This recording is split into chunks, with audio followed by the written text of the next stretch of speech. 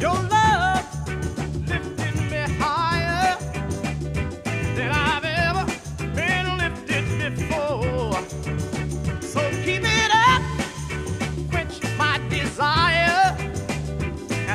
at your